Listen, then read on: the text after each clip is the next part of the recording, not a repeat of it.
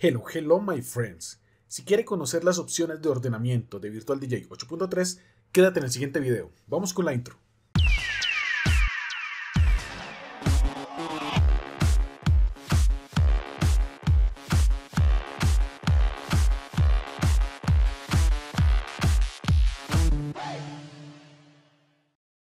Ok, youtuber, ya estamos nuevamente por aquí en Virtual DJ 8.3, versión 2019. Quiero enviar un saludo muy especial a todas las personas que visitan este canal. Si es la primera vez que estás viendo eh, alguno de mis videos, te invito a que te suscribas, que le des like, que actives la campanita de las notificaciones para que así estemos constantemente en comunicación. ¿Ok? Bueno, entonces eh, las opciones de ordenamiento hace referencia aquí a la parte del navegador de archivos. Eh, muchos de ustedes de pronto han manejado Excel o han manejado pues el sistema operativo Windows o Mac. Hay una forma de ordenar y digamos que, no sí, ordenar eh, como se muestran los, los, archivos. En Excel cuando creamos una tabla, si queremos eh, ordenar eh, el nombre del producto el precio de mayor a menor, hacemos clic donde? En las columnas, ¿cierto? En la parte superior. De la misma forma lo hacemos aquí en Virtual DJ. Si queremos ordenar ejemplo por artista, entonces si nos fijamos, van a aparecer primero eh, los que tienen número y ya después entran por las vocales A. Después vendrá la, la B, ¿cierto? Vamos a bajar un poco para que ustedes vean la B, después vendrá la C, así hasta la Z. Ok, si queremos entonces por el título de la canción, lo mismo. Si queremos por el año, entonces aquí tenemos, doble clic para que aquí en la parte superior, 2019, 2018, 2017, ¿listo? Si queremos ordenar por tonalidad, que nos queden cuáles son eh, las de 12A. Si queremos las de 11A, 11B, 10B, bueno, aquí ya está. Por tonalidades. Si queremos mezclar por tonalidades. ¿Listo? Entonces es una forma muy sencilla de organizar nuestros archivos y lo podemos organizar a nuestro gusto. Eh, otra de las características que de pronto no conocían es que Virtual DJ puede ordenar en dos niveles. ¿Qué quiere decir esto?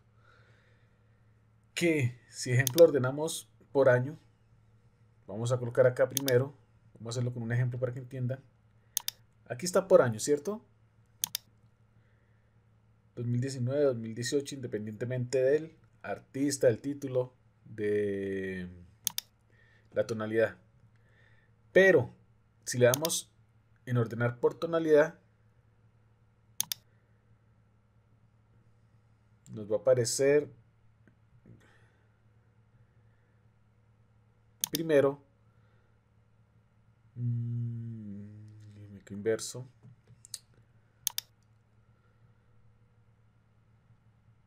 regálenme un segundo año Listo. 2019 está arriba. Ahora, la tonalidad.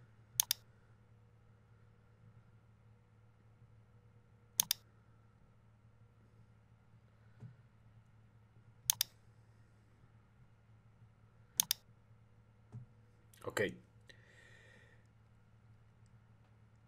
Primero nos va a referir la tonalidad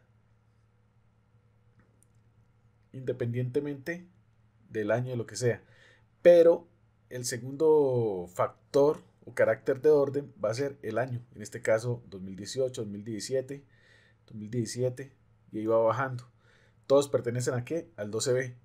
Cuando cambiemos de 12B,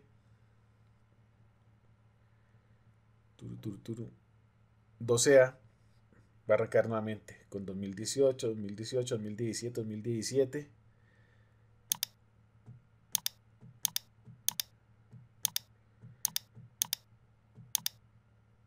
hasta terminar 11B. Y si se fijan, lo hace por año y por tonalidad. Esto lo podemos hacer, ejemplo, yo le tengo aquí la parte de los puntajes, como lo estoy rankeando. Podemos hacerlo por año y por puntaje. Recuerden que la última, el último filtro que hagan es el que prioriza. Entonces, me va a arrancar el 2019-2018. ¿Y quiénes son los que tienen 5 estrellas? Va bajando los años, pero no bajando las estrellas. Cuando arranque con 4 estrellas, va a arrancar nuevamente el ciclo de los años. Vamos a bajar, vamos a bajar.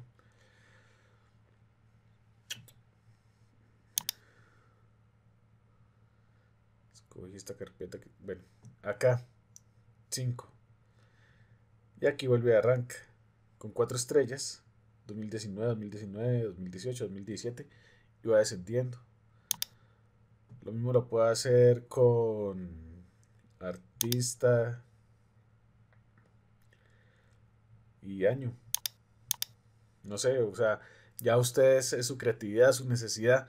Pero recuerden que puede hacer filtro hasta ordenamiento, qué pena, ordenamiento hasta por dos columnas. La última que ejecuten es la principal y la penúltima es la secundaria. ¿Listo? Eh, si ya quieren por tres o cuatro, lo más recomendable es que utilicen filtros, que en el canal pues ya hay videos sobre este tema. Bueno amigos, hasta aquí el video de hoy. Espero les haya gustado. No olviden dar manito arriba, suscribirse al canal, comentar, compartir, escuchar mucha música, practicar, pero sobre todo pasarla muy bien. Hasta la próxima. Bye bye.